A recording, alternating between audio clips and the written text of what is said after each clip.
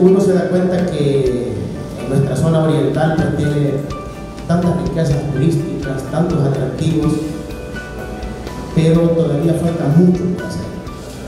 Falta motivar más la inversión, crear mejores condiciones. Si no damos el primer paso, pues difícilmente esto se va a lograr. Esta mañana estamos en la actividad de, poder divulgar el trabajo que se hizo con eh, el programa de pasantía legislativa de nuestra oficina departamental de San Miguel en coordinación con varias universidades del departamento de San Miguel. La oficina departamental cuenta con cinco programas de trabajo, entre ellos está el programa de pasantía legislativa,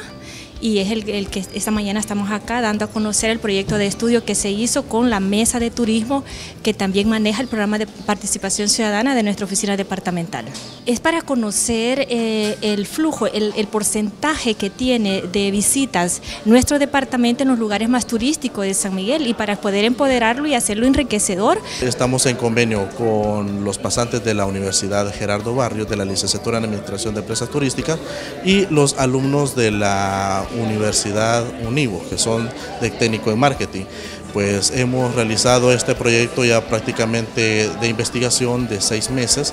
y el día de ahora pues estamos ya presentándolo. En este trabajo se realizó un inventario de cada uno de los recursos que poseen estos municipios con el fin de concientizar a las alcaldías, a las instituciones de que debemos tener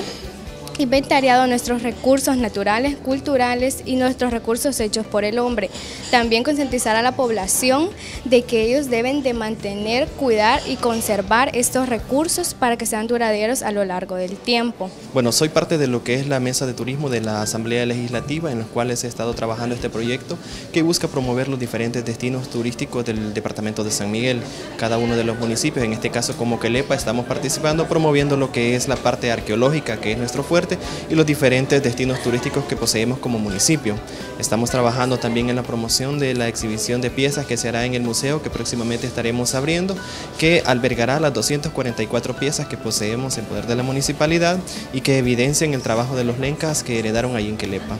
Todos estos datos que se está recaudando en cuanto a la investigación van a ser entregados a cada una de las alcaldías correspondientes de las cuales se llevó a cabo esta investigación, para así darle continuidad si en algún momento alguna institución, alguna universidad, estudiantes de diferentes carreras quieren seguir proyectándose o quieren saber más sobre cómo se llevó a cabo la realización de este proyecto o de la información que este contiene, pues va a estar al acceso de todos ellos. Creemos que este plan nos va a beneficiar grandemente porque esperamos que sea reconocido por las autoridades a nivel nacional y que éstas desarrollen pues eventos donde permitan la participación de los municipios, así como pueblos vivos en los cuales personas nacionales e internacionales conocen de la oferta turística que cada uno ofrece. En este caso en Quelepa pues esperamos que los ojos sean puestos en él debido a la importancia que tiene y la relevancia por ser eh, la metrópolis de la cultura lenca en el oriente salvadoreño.